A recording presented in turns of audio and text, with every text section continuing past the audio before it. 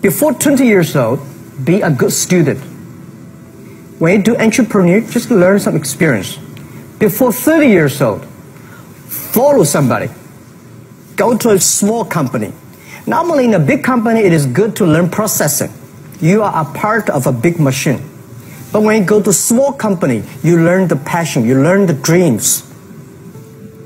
You learn how to do a lot of things at one, one time. So before 30 years old, it's not which company you go, it's which boss you follow. It's very important. A good boss teach you differently. And before from 30 to 40 years old, you have to think very clearly you're working for yourself if you really want to be entrepreneur. When you're 40 to 50 years old, you have to do all the things that you are good at. Don't try to jump into the new area. It's too late. You may be successful, but the, the rate of dying is too big. So 40 to 50, think about how can focus on things that you are good at. But when you are 50 to 60 years old, work for the young people.